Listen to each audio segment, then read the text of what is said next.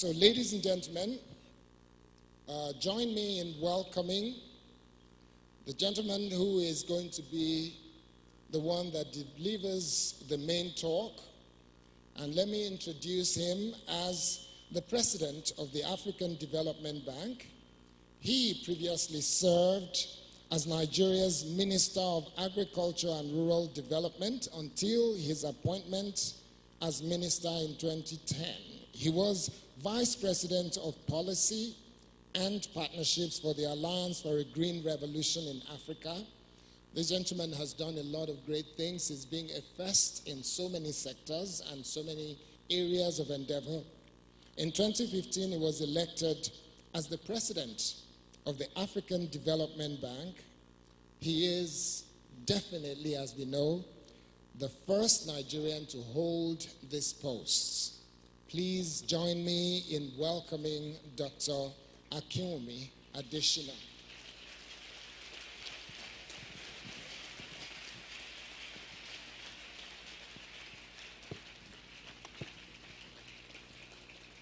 Thank you very much. Please be seated.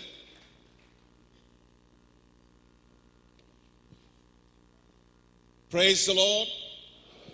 I can hear you from here. Praise the Lord. Well, first and foremost, let me thank Mr. Kayode Akintemi. Uh, thanks for the introduction.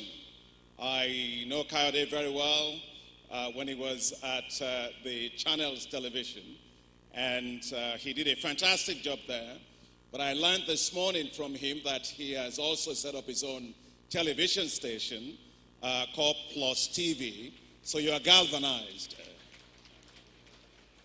Your Excellency, the Vice President of the Federal Republic of Nigeria, Professor Yemi Osinbajo, my dear brother and friend, Pastor Joseph Obayemi, National Overseer of the Redeemed Christian Church of God and the National Chairman of the Redeemed Men's Fellowship. Pastor Adeyokunu, the National Treasurer, Pastor Charles Pande, actually, Pastor is actually here. He just went to get me some water. He's so kind. Please thank him for me. Okay, thank you. The pastor in charge of Lagos Region 11, Pastor Idowu Iluyomade, pastor in charge of the city of David. Bishop Matthew Hassan Kuka, my dear brother, eminent guests and speakers, all of you, the bankers that are here, my friends, distinguished ladies and gentlemen. Actually, when Pastor Bayami was saying, your, he said, Arise, O ye men. I recognize that we have so many other women here. So I would say, Arise, O ye women, if you are in the hall. And also, Arise, O ye men. Thank you. Yes, please. So, good morning to you all. First and foremost, congratulations to the Redeemed Christian Church of God, to the Redeemed Christian Church of God, Men's Fellowship, for the event and for inviting me, the honor of speaking to you today. It's such a great pleasure to be invited to speak with men and, of course, women. Let me start by wishing you a very happy and prosperous new year. May God make it a bountiful year. Enjoy peace, good health, with success in Jesus' name. Now, I would like to see by a show of hands how many of you have ever been to an optician or an ophthalmologist. And how many of you wear prescription glasses like I'm wearing? Okay, and some of you probably have laser ones that are, you've had laser surgery so you can see clearly. If you are, I'm you have been told that 2020 is perfect vision. This year, 2020, is very important. And therefore, it's going to be for you the year of perfection of your vision. Vision is more than the ability to see, it is the ability to envision and see the future clearly as if you are already there. So I came here today to speak to you about realizing your vision for success. Now, before I go on, let me tell you how I accepted your invitation to come and speak to you today. My schedule for the year is so packed already. And when I got the invitation, I talked to my staff, they looked at it, and the program was actually impossible for me to make. And I sent a word to a Pastor. I said, please tell Pastor that there are so many conflicts in my schedule. Unfortunately, I won't be able to be here. And then it was the 31st of December. And Mr. Jide Owoye, who is here, was sent by Pastor Pandey to come and see me in Ibadan. And I say, unfortunately, my staff told me the schedule is such that I won't be able to make it. And then 31st of December, I had just finished praying and trying to go into the new year. I had two letters, envelopes at the side of my bed, my bedside. And at five minutes to 12, to midnight, I decided I finished praying to turn and the Spirit tell, told me, He said, Look at the envelope that is right beside your bed. I picked up the envelope, but I picked up the wrong one. I said, No, pick the other one. I picked the other one, and it was the same letter that had been sent to me for this invitation. As I opened it, the Holy Spirit told me this Akin, I know your schedule is so busy. But if it was Chancellor Merkel or President Macron that invited you to come to a meeting today, will you not be there? And I said, Yes, I will be there. And then it said, What greater honor can you have?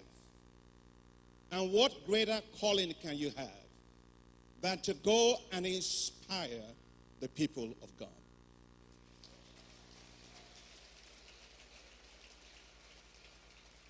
I did not tell my staff. I didn't tell anybody. My wife was right beside me. I didn't even tell her. I just picked my phone and I sent a message straight to Mr. Jide Owoye. I said, Tell the pastor I am coming. And the next day, my staff were running helter skelter. What happened? I said, God told me to go. So that's why I'm here. So I came to speak to you on a mission about realizing your vision for success. But to properly situate our discussion, it's important to have a proper perspective on success. Success must be seen only from the perspective of the one who will ultimately determine whether one has succeeded and who will reward life's successes. In every endeavor of life, whether in the world of academia, the private sector, government, or in your own homes, success criteria must be clearly set. Key performance indicators are what are used by managers, leaders to align corporate goals. In the same way, God, who is God of purpose and destiny, sets its own key performance indicators. The key question is how will God measure success? Let me repeat it. The key question is how will God measure success? Turn to the person next to you and ask them, how will God measure your success? The Bible gives very clear indications of how the assessment will be done. The assessment will not be on the basis of whether you called on God, as important as that is, it will not be based on what you said. It will be based on what you did with what you have. Matthew 25, 31 to 46 gives you a very vivid picture how God measures success. There are those who felt they had it all in the world, but forgot to do the things God expected. They had riches, but they forgot the poor. They had power, but they oppressed the people. In the world, they had it all, but in the end, they lost it all. There are many roads to success, as defined by people or the world. But there is only one way to success defined by God, doing it God's way. Let me pause and welcome His Excellency, the Vice President.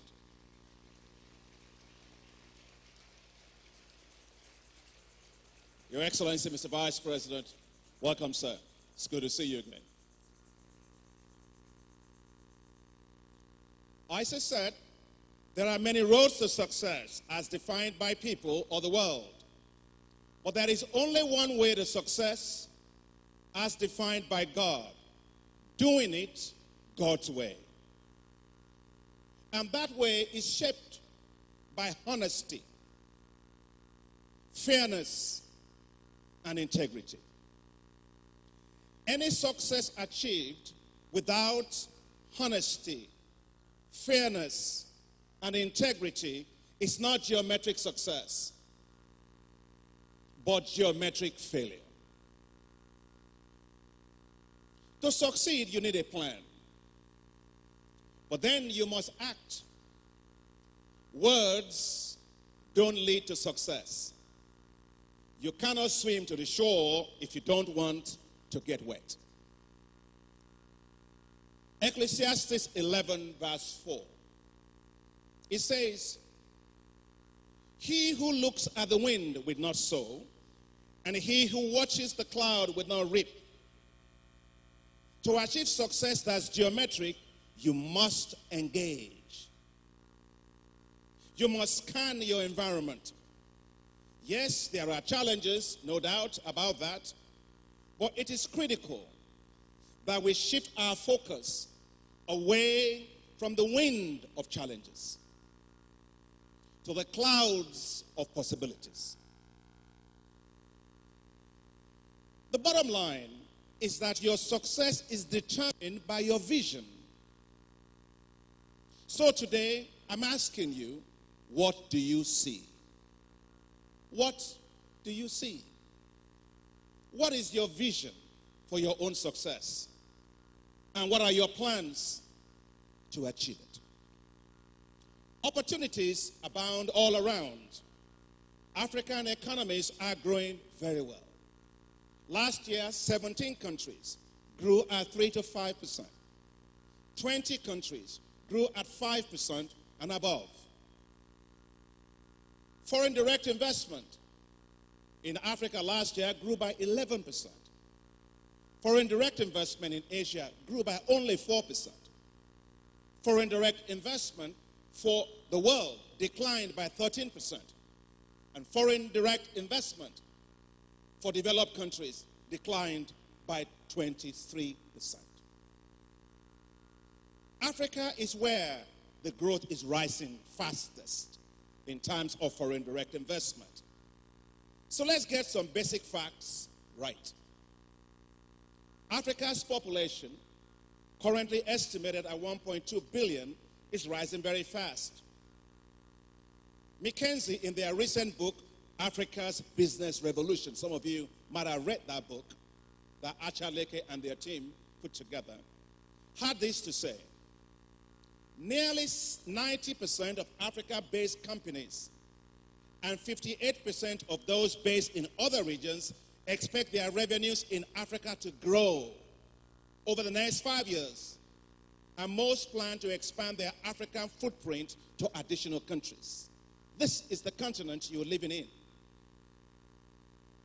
The size of business to business, consumer to consumer expenditures will rise to $5.6 trillion in the next five.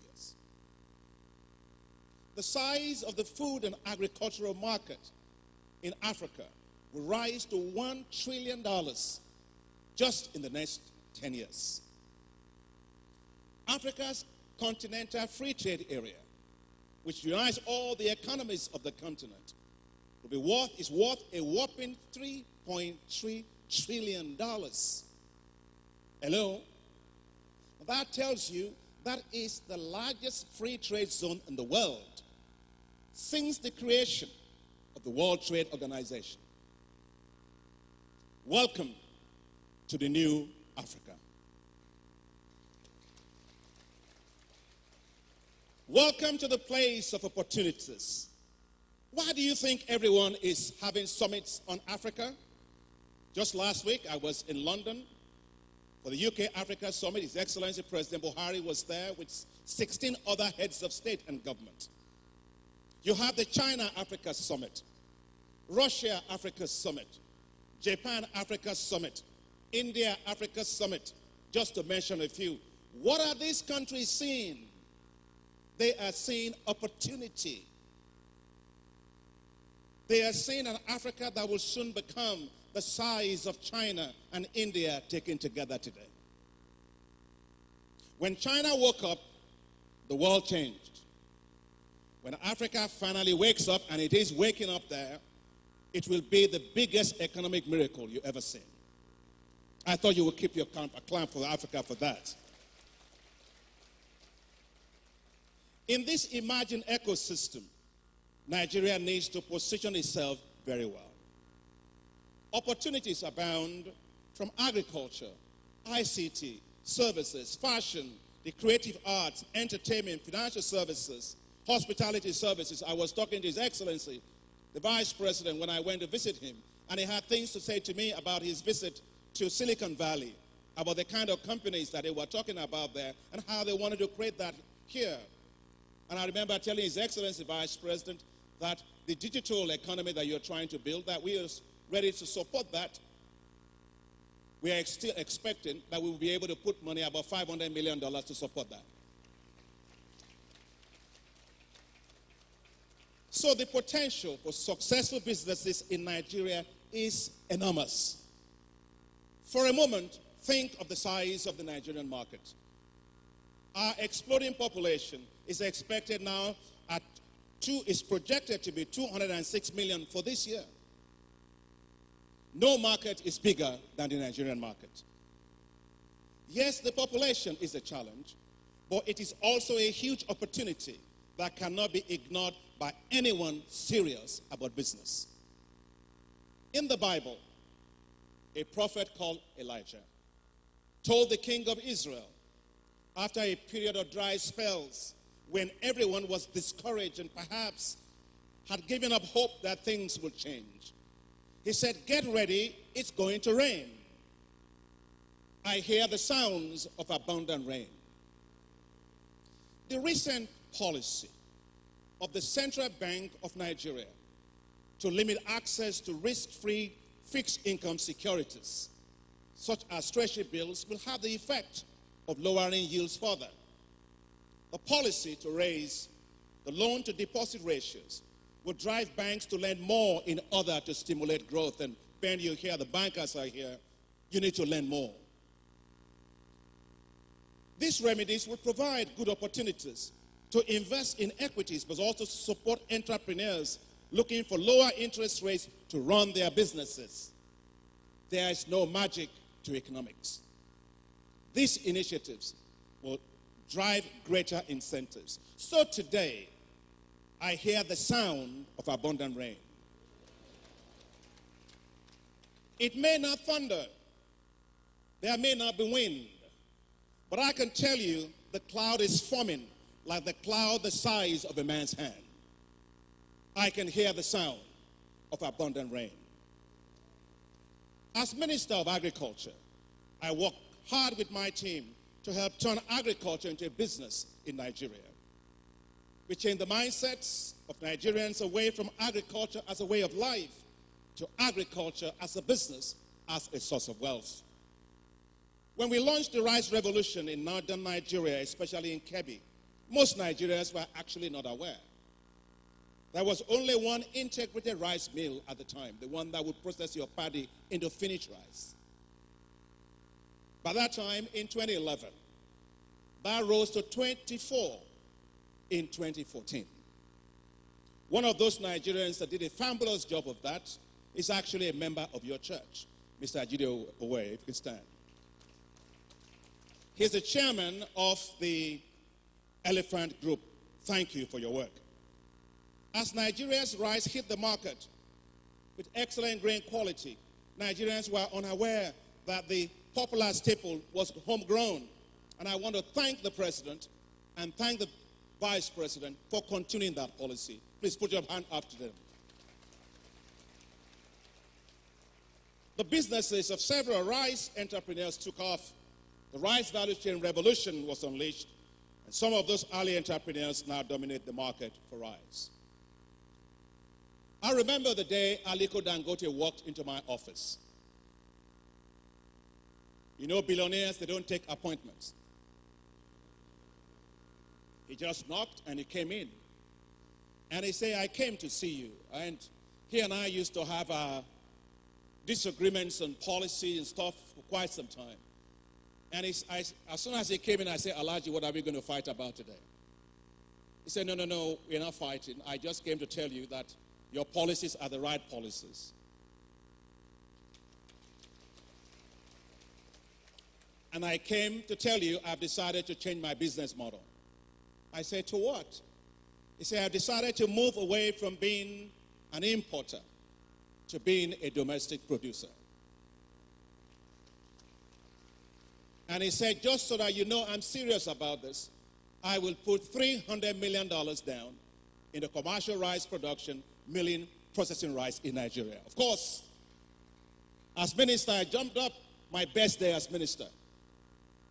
I called Kofi Annan, God bless his soul. He's my mentor. And I said, Mr. Annan, this is what happened. Mr. Annan told me, he said, Akin, the day you get your largest importer to become your largest producer, that is what I call success. In my case, that's geometric success. And then three months after that, Mr. Dangote Alhaji came back to my office. He said, I have changed my mind. I said, What have I done wrong? He said, No, I have not changed my mind from doing what I said. I just changed my mind for $300 million to $1 billion.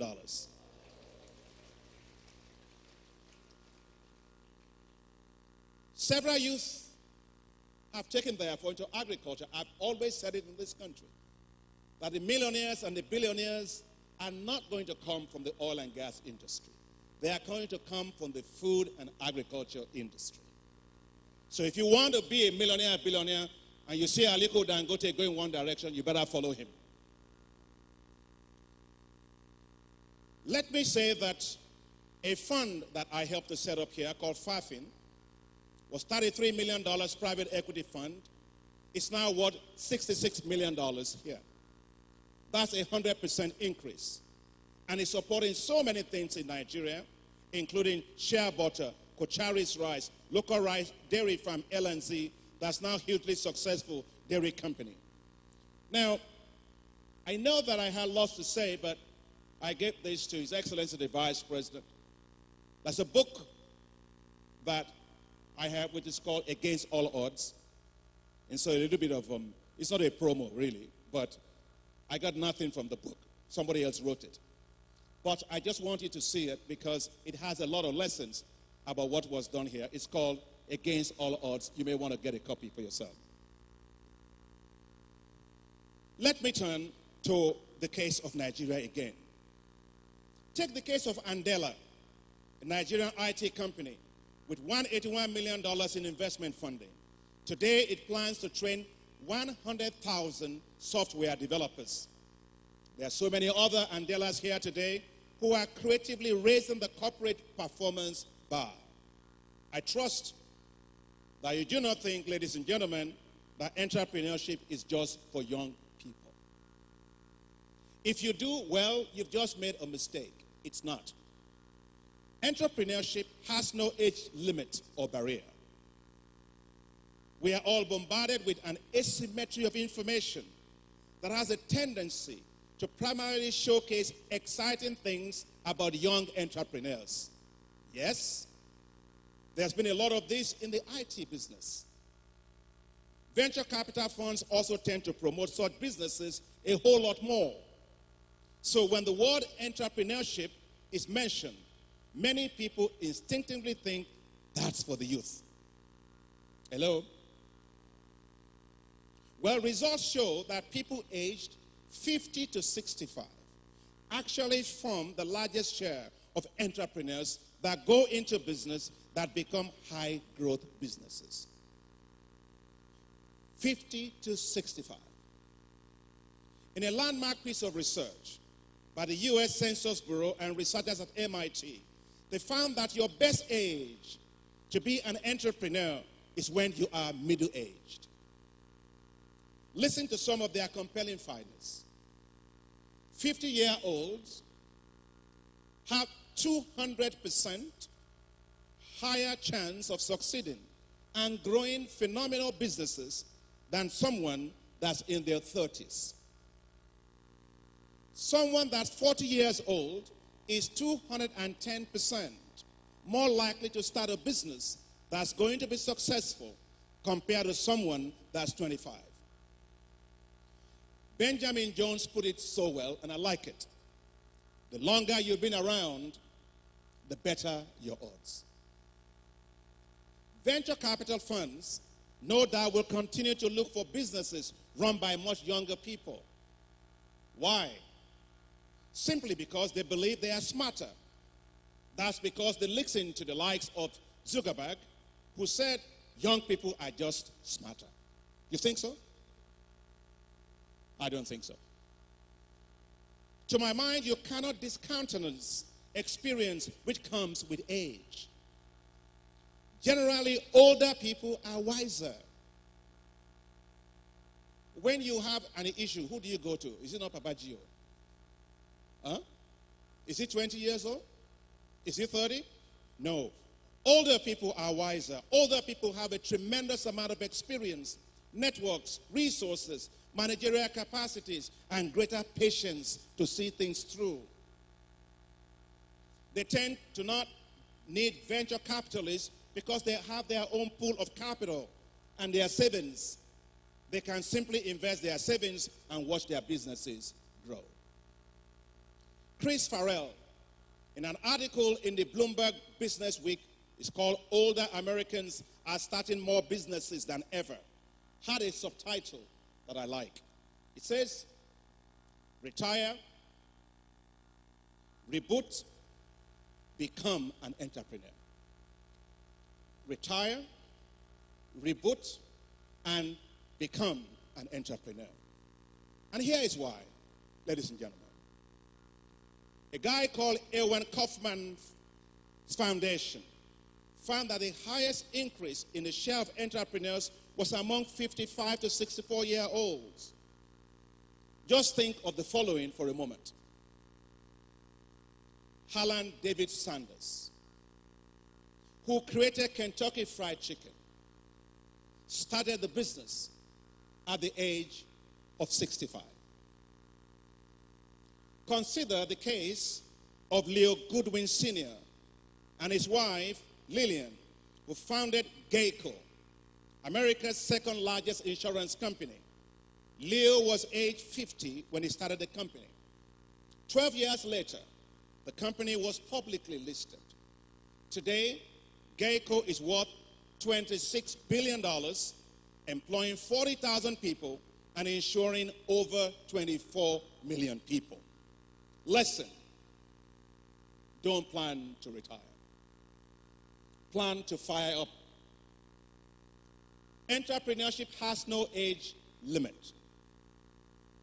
To prosper phenomenally, Nigeria needs to boost many more entrepreneurs, and many of them are here today. It needs to create more wealth creators in order to add wealth to the nation and beyond. Let us be clear about one thing, though. Successful nations are not always the richest nations. You can be a rich nation with a poor population. Successful nations are the ones where the quality of life of their people is high. So, unless it is not so much about national wealth, it is more about people wealth. For that matter, wealth in terms of access to quality education, wealth in terms of access to universal health, wealth in terms of access to security of life and property, wealth in terms of creating quality jobs for citizens, wealth in terms of affordable social services for all. Successful nations always bequeath to their next generation quantum of wealth, not quantum of poverty or misery. Successful nations reduce inequalities and inequities. They are nations for all, not nations for the few. Moving forward, let us also learn to persevere. Let us learn to persevere. Success does not come in torrents. Success comes in trickles, little trickles. So, never give up. Never give up. Now, let me tell you my story. I have faced tough times myself. I remember when I was a student in the United States, I left Nigeria with only 500 naira on me. I got to the United States, maybe two things I would tell you about it actually. And I was given a Nigerian federal government scholarship. I arrived in New York. I walked into the embassy. And I said, We are here. That was a colleague of mine. I don't actually know him. We were uh, giving uh, a scholarship together. And we got in there, and they said, Why are you here? I say, I'm here because we have government scholars from Nigeria. We just got a scholarship. And there was this guy who walked in, Mr. Vice President, and says, You see, we have not paid our rent for this building for a long time. And Nigeria had the audacity to give you a, a paper that you are on government scholarship. We are going to give you a ticket to go back to Nigeria because we can't pay your scholarship. So I said, No, you have to pay my scholarship. He said, No, except God robs a bank in New York. Then you will have your scholarship money paid. I said, No, I know the God I serve. He's not going to rob a bank, but I will get my money right here in New York. And so at 4 o'clock, we went into an hotel. We were so poor, we went into the, um, uh, what's this, YMCA. YMCA, this particular hotel was nowhere. And our bed, uh, we had to use it to, to close the door. It tells you what kind of hotel I was staying in. It was a double bunk, and the bathroom was in a line. You're all in a line, one line. And in the morning, the guy was called Emeka Ojukwu, the other student that we were together. We haven't met before. I asked Emeka Ojukwu, I said, We are going to go back to the embassy and we are going to ask them to pay us. He said, No, they told us that they can't pay us. I said, Emeka, do you pray? He said, No, I don't pray. I said, Why? He said, Because I am a Rosicrucian. I said, Really? You are a Rosicrucian? I've just been sleeping in the same bunker bed with a Rosicrucian overnight. I said, Okay. The Bible tells me whatever two of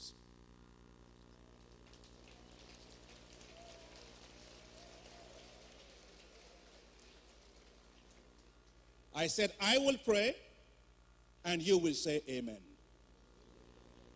Can you do that? He said, yes. And so I prayed and he said, amen. So we went. We got to the embassy. The same guy. You know, devil is terrible. He showed up and he said, You guys are still here. I said, Yes. He said, I told you God will have to rob a bank. I said, No, it's not going to happen. And then we sat there, with students from all over the states, they were all there. And all of a sudden, at about almost 2 p.m., we've been there since about 10. Then somebody came out and said, Who is Akin Adesina here? I said, I. He said, The consul general wants you. So I walked in.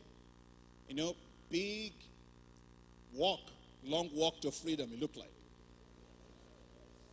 So as I walked right towards this guy on the big desk of his, with trepidation, poor student, he said, What is your name? I said, My name is Akin Adesina. Where are you from? I said, I am from Ogun State in Nigeria. He said, Which town are you from? I said, From Ijebubo in Ogun State. He said, Which area in that town are you from?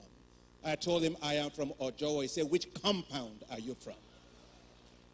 I told him he had married my, for my father's compound.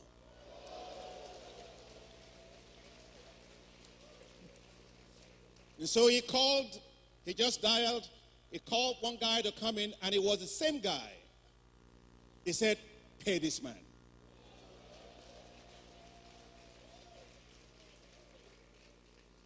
I thanked him. I even basically prostrated. He said, Don't worry, don't worry. Anytime you have a problem, call me. We don't have money, but at least you are paid. I walked out. I didn't say anything to Ojukwu. I sat down next to him. Not quite two minutes. Same guy came out. Who is Ojukwu here? He said, I. Emeka Ojukwu walked in. He did exactly the same thing. Pay this guy. He paid him. Then he said, all the students from America that were all lobbying, they should just send them all away. We were the only two paid. Amazing God, isn't it? But then my money basically wasn't a lot of money. Remember, I was only paid $500. But for me, it was like I just won a lottery. I spent $500 for six months. I paid my rent. I had to spend on myself and everything else $150 for six months. $150. Just imagine. I had no winter boots. I had no gloves. I had nothing. And one day I was going to the office, I mean to the school. I had my last 25 cents in the world. The last in, I don't mean in America, the last 25 cents in the whole wide world. And as I got up, I was staying at the basement of a building. I walked out and it was freezing, minus 30 with windshield. I stood there freezing in the middle of the road as the bus was passing by. The bus stopped right in front of my house with piles of snow. I quickly rushed in and I put my hand in my pocket and I put in the 25 cents into the till. From the look of the guy, the way he looked at me, I knew something was wrong. He said, That will be 50 cents, please. I said, That's all the money I have. Oh, say, I'm so sorry. So he put his hand in his pocket and he put 25 cents in there. I got to school and I was called by one of my professors. He said to me, Akin, you had a test a few days ago. And in that test, I have your script with me. You scored a 54%. Now, you can imagine somebody in graduate school in the United States, I got first class honors from Nigeria, and he said I got a 54%. I said, Yes, I understand that because I have not eaten for the last three days. So the last thing on my mind was the test. I was surviving on water. I said to him, he said to me, Well, you are the best in this class, I know, but I'm just surprised. So he took the script from me and he put it inside of his drawer. He said to me, put his, sign me a check for $100 he said, Pay me back when you get your PhD.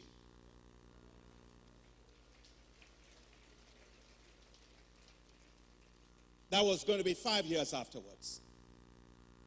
As I was going out, he said, Oh, by the way, go to room 575 in the Krannert building at Purdue University. You will see a man there. His name is called Professor Phil Abbott. Phil Abbott is a world class mathematician.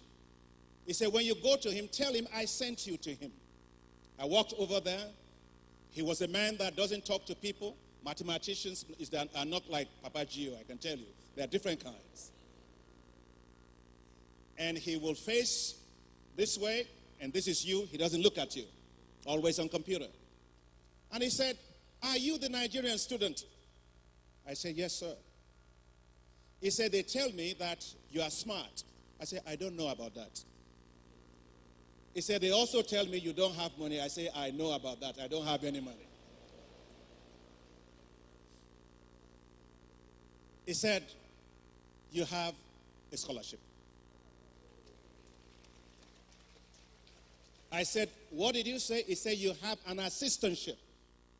That means your fees are paid 100% for the rest of your stay in this university. Just like that. What an amazing God.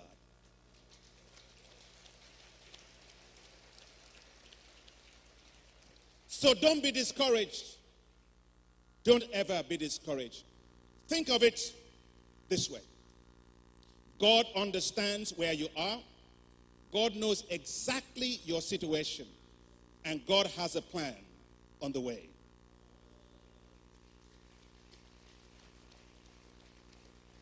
Now, how do you explain someone who had 25 cents in the world at that time. Freezing cold will be on the front page of Forbes magazine today. How? God is an amazing God. Never, ever give up because God will never give up on you.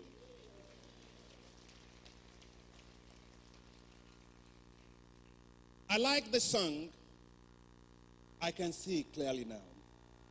The rain is gone by Jimmy Cliff. It says, I can see clearly now. The rain is gone.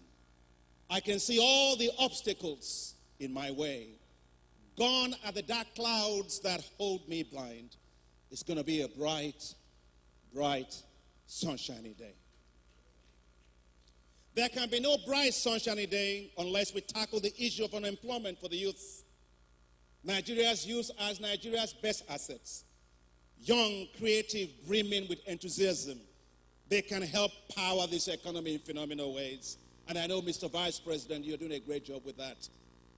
What's missing is that they lack, in fact, an ecosystem of support to help them to turn their ideas into viable businesses. My late father used to tell me, God bless his soul, make hay while there is sunshine. During my recent visit to Nigeria in December, I saw on television a number of young people arrested for armed robbery. Of course, they were all university graduates. The greatest risk to Nigeria is now terrorism. Unemployment and discouraged youth are the greatest risk to Nigeria. Youth employment will fuel terrorism, so please, everybody, do everything you can to support the government's effort to create jobs in Nigeria.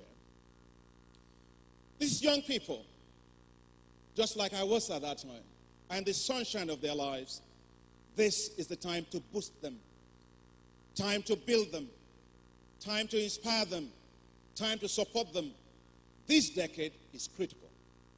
And I make bold to say, I call it the youth investment decade. Just think about it. Zuckerberg started his Facebook idea in 2004 in a school dormitory. Eight years later, by 2012, it was listed as a public company. Two years after, in 2014, Zuckerberg was worth a mind boggling $72 billion. An incredible achievement, all in one decade. I would like you to look at the person next to you. Say, it's going to be your decade. Let me come close home. Aliko Dangote. We're proud of him. He was 21 years old when he launched into business. He took a loan of only $3,000 from his uncle. He invested it in business. He was making, after that, $10,000 profit per month. He paid back his uncle in full in three months. Today, Aliko Dangote is worth 15 billion US dollars. My point here, ladies and gentlemen, it's not the amount of money these folks have or have made. No, that's not what I'm saying. It's the principles undergirding their success. That's what I want to talk about. The first one is vision. What separates achievers from the rest is vision. You simply cannot create what your mind cannot see. This is true for individuals, businesses, and nations. Second, each one of these individuals had entrepreneurial mindsets. Entrepreneurial mindsets. They saw market opportunities that others could not see. Third, they did not dream big. They succeeded in the small and grew to be big. So you must not despise the times of small beginnings. You simply cannot pray that God will make you a Dangote or a Zuckerberg. God will not answer that prayer. What God will ask you is vision. Develop an entrepreneurial mindset and determination to succeed regardless of the odds, challenges, or obstacles in your way. This is where access to critically needed finance comes to play. And you have the bankers here, they're going to be speaking to you about that after a panel. The environment for success must be better developed in Nigeria.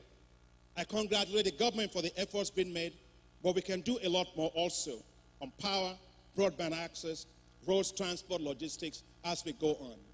But let's also realize that we all live in an ecosystem. Policy consistency is very important between electoral cycles at national and state levels. Governments change, but businesses and investments must continue. While gains have been made, more still needs to be done. Now, let me shift a little bit and say to you it's not just about finance. Finance is not enough. You need peace of mind. Hello? You need what? Peace of mind. You must avoid indebtedness. Obtain loans for what you can earn, for what can earn you income, not for consumption or personal items. It's interesting that I, as a banker, I'm telling you to watch your borrowing, isn't it? It's not access to finance that gets you into trouble, it is what you spend it on. There are lots of people walking around, driving big cars, looking at luxurious homes of people. They envy them, but they are living way above their means. Warren Buffett, one of the richest people in the world, and one of the people I really admire quite a lot, said, if you are smart, you are going to make a lot of money without borrowing. If you buy things you do not need, soon you will have to sell the things you need. Let me read it again. If you buy things you do not need, soon you are going to sell the things that you need. So, on a personal level, as you think about success, learn to live below your means. Cut back on unnecessary expenditures. Spend cash, not your credit card. I would rather have a lower standard of life, living debt free, than have a high standard of living based on debt. The day the debt, of course, is due and you cannot pay, you have just lost your peace of mind. Again, I repeat live below your means. To succeed at anything, you need passion. Passion empowers vision and turns vision into reality. Warren Buffett again said, without passion, you don't have energy. And without energy, you have nothing. Jack Ma, who created Alibaba, only found out about the internet in 1994. He was enthused about how internet could change China for business to business connections. Now, he did not study computer science. He did not study engineering. He studied English. Ten years after, one decade, ten years after, by 2014, Jack Ma's company was worth 25 billion US dollars. The largest IPO in history. Amazing, all within a decade.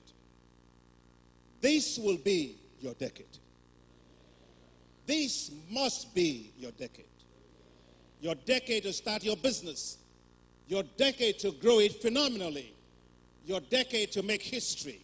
It's all in tenure, folks, but do it the right way. To desire is not wrong.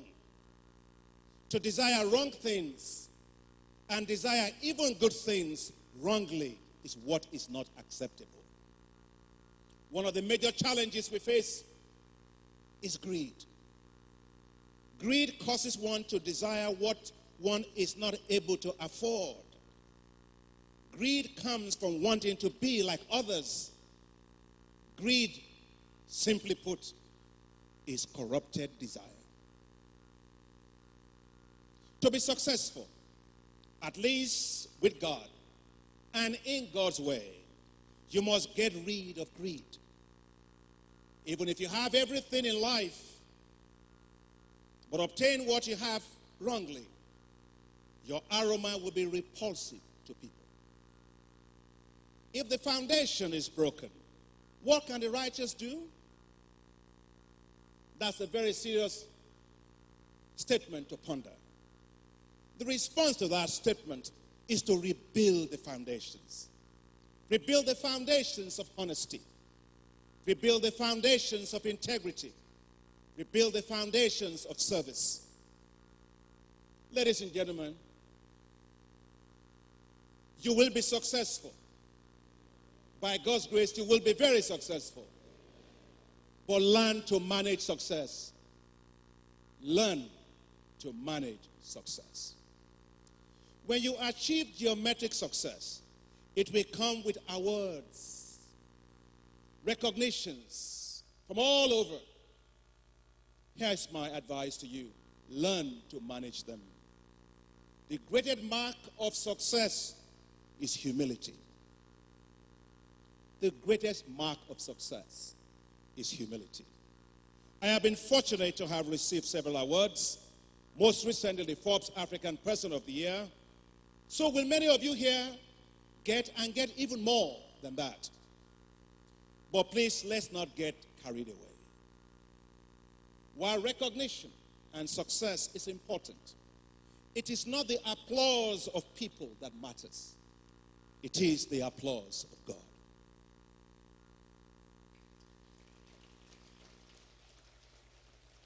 So, as you prepare for the tremendous opportunities success, accolades, and awards that lie ahead of you, let me leave you with my definition of awards.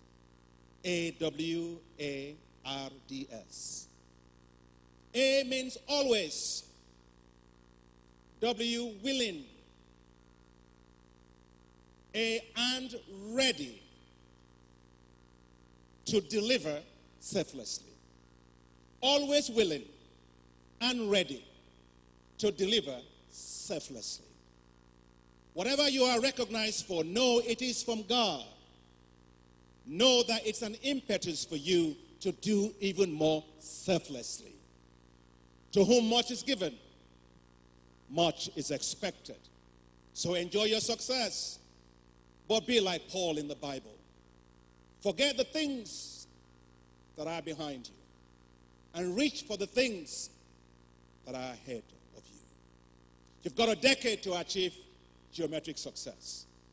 For those of you who might not have seen my Twitter page for the new year, here is it again. Trust God, be humble, work hard. When the new year comes to an end, you will have achieved another very successful year. It shall be your decade of abundant rain. This brings to my mind one of my favorite hymns. There shall be showers of blessing. It always reminds me of success, but success God's way when we trust and obey. So let me read part of it, and I'll ask that we sing it together. It says, There shall be showers of blessing if we but trust and obey. There shall be season refreshing if we let God have his way. Showers of blessing. Showers of blessing we need. Mercy. Drops around us are falling, but for the showers we plead. I'd like you to please rise with me, and if the musicians can help me with that song.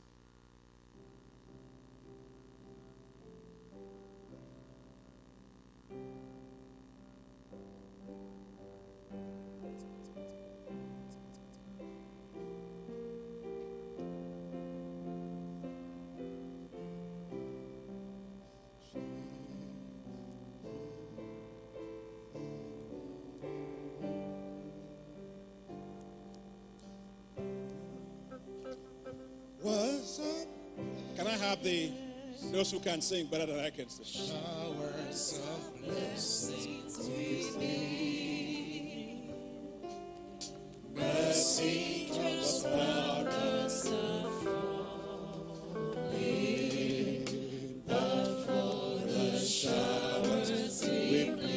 Let's sing it again.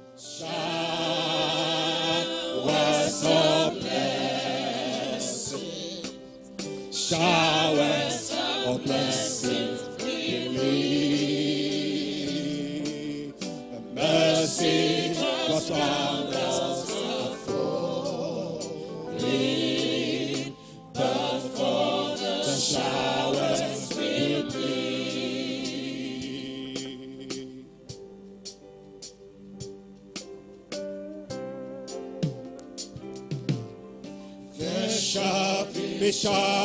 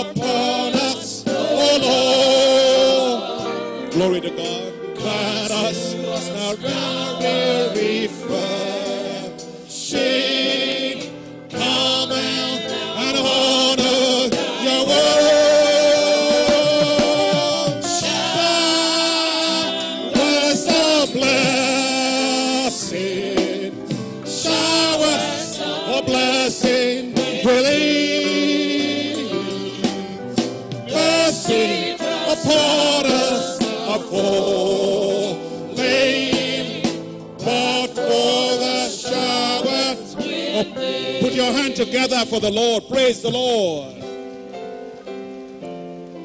Bless the name of the Lord. Please be seated. So, as I close,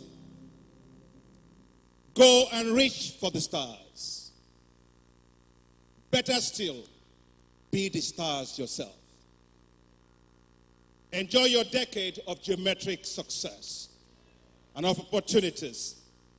Now, as Papa would say, now somebody say hallelujah. Praise the Lord. That deserves a resounding standing ovation, ladies and gentlemen. That deserves a standing ovation. If you are inspired, you will clap until your hands sweat. If you're galvanized today, you will clap a little bit more, being thankful for what God has done through Dr. Akinwumi Adesina.